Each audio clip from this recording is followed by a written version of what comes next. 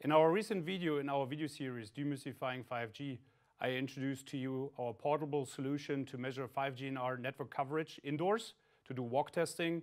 And uh, now, before we put it into an actual demonstration, I would like to recap on what 5G NR signal components we perform measurements to determine network coverage. And that are the so-called synchronization signal blocks. So let's take a look. So as you can see here in the standard, the concept of synchronization signal blocks uh, was introduced. Um, if you see here in the top right corner, um, the synchronization signal block itself occupies four OFDM symbols in the time domain and occupies 240 subcarriers, or in other words, 20 resource blocks in the frequency domain. You can see here that we have with the uh, PSS and with the SSS, uh, we determine the cell ID, and with the physical broadcast channel, we can transmit the master information block that has certain important network and system parameters in, inside of it that the mobile needs to further connect to the network. Since uh, 5G NR supports different frequency ranges, FR1 and FR2, so the so-called sub-6 and millimeter wave frequency ranges, we can see here that our synchronization signal blocks can utilize different subcarrier spacings and basically that determines on how many SSB index, in other words, beams we have available. That's basically dependent on the deployment frequency range. So you see here uh, below 3 gigahertz, it's up to 4. Between 3 and 6, we have 8.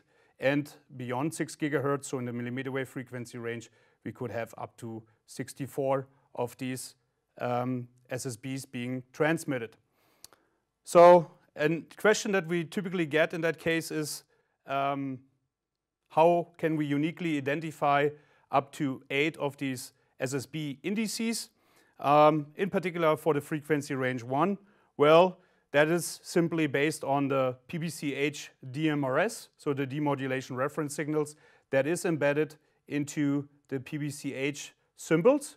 And with each of these three symbols, the DMRS sequence is initialized differently. So I have three opportunities and then I can code eight of these SSB indices uh, for FR1. The question is now, what is for FR2? Because as we pointed out earlier, that's up to 64 different indices possible.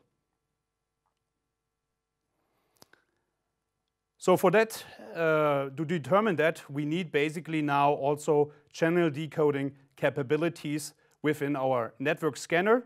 Um, otherwise, you would not be able to determine uh, the SSB indices. And for that, uh, we need to decode the master information block that you can see here. And we're actually looking for certain information within that block, the so-called PBCH payload bits. In these PBCH payload bits, they are used differently dependent on the frequency range. And if we look at um, uh, the situation for FR2, so for the millimeter wave, then we see here that we have three bits in addition to the three bits that we get from the different DMRS sequences for the PBCH from these three different symbols. I marked it here again for you. Um, we have six bits in total, and with these six bits in total, we can now uniquely identify up to 64 SSB indices in the millimeter wave frequency range. The question is now, are all of these indices independent of the frequency range always transmitted? And the answer to that is basically no, it's not. This is highly dependent on the design of the particular antenna array that's being used. So it's basically highly dependent on the infrastructure supplier, how many of these SSB indices is in reality in a real network deployment actually being transmitted. So I want to use here an, an, an example to illustrate that.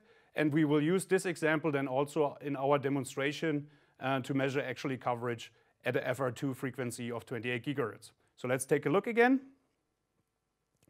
So our goal is here basically, or the goal is in general, for the GNODE for the 5G base station um, to provide coverage into the cell. Uh, the example that I would like to use is basically um, transmitting 20 SSB indices out of the 64 possible ones. Um, what I'm going to do in that demonstration, I'm using the SMW200A vector signal generator. You see here uh, a time plane where I generated a signal.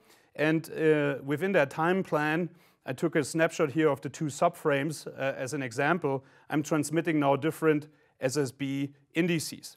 So the very first one, um, for instance, you see here is the SSB indice 0. So with my uh, uh, antenna array, I can now apply analog beamforming, set the phase shifters and magnitude uh, accordingly so that my SSB index number 0 is actually transmitted into the spatial direction that I'm trying to illustrate here. The next SSB index is then um, covering a different area of the radio cell, as you can see. And if I go on uh, with that, I can use my array basically to um, um, show different SSB indexes uh, here covering different areas of my radio cell. And uh, this is now 20 of them. So you basically can see now uh, how this might be mapped into reality. Different SSB indices are used to uh, cover different parts of that radio cell. So now with a coverage measurement solution, like the one that I introduced from Rohde & Schwarz, you would be now able to determine which SSB indice is basically covering which part of the radio cell, and that's a very important measurement to determine 5GNR coverage of my network.